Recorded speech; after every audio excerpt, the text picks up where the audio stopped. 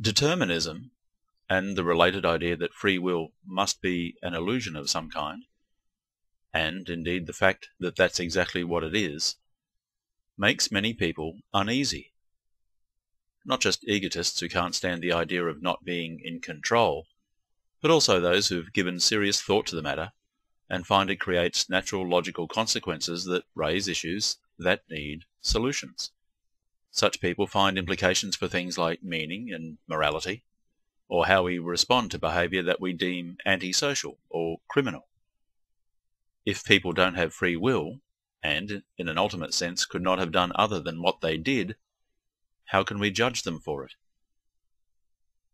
Now, I don't find any of these questions a problem at all, and here's why.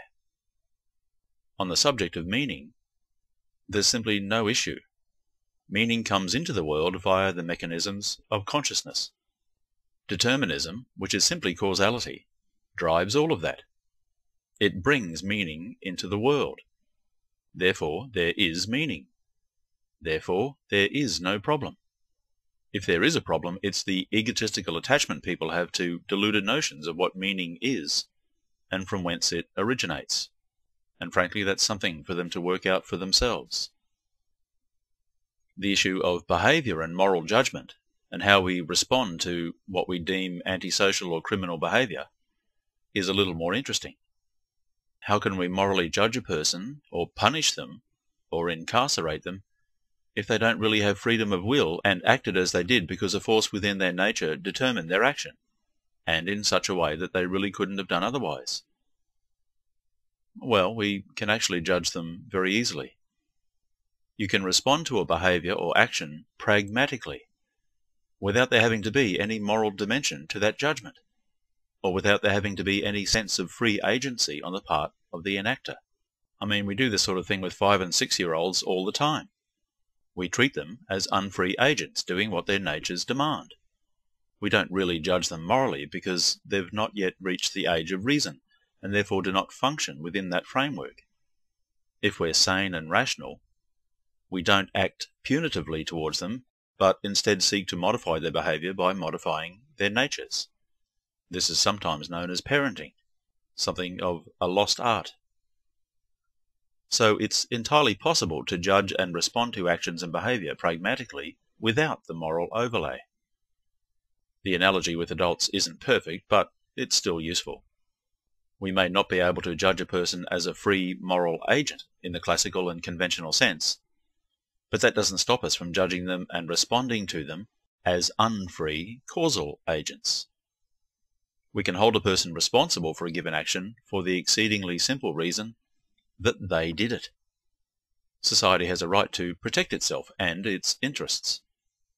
There's nothing to stop it from judging certain actions to be a threat to itself, and thereby seek to remove that threat, and do so in the form of the separation of that threat from itself in whatever way is warranted by the level and type of threat posed. The important thing is the difference in what happens thereafter and the mentality involved in the subsequent dealings with that causal agent. In the moral free will paradigm, the punitive is the key to everything. In the determinist, free will is illusory paradigm, rehabilitation and modification of behavior and nature becomes the order of the day.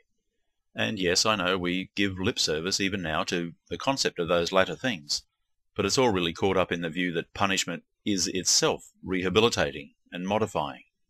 Now, I consider that a largely idiotic view for more than one reason, but humans are given to bouts of idiocy, so we can't expect too much. Now, let me stress that the determinist framework would not of itself make the judicial system and all its functions any less complex necessarily. It would mostly change attitudes and approaches, but it would change them for the better, for the saner.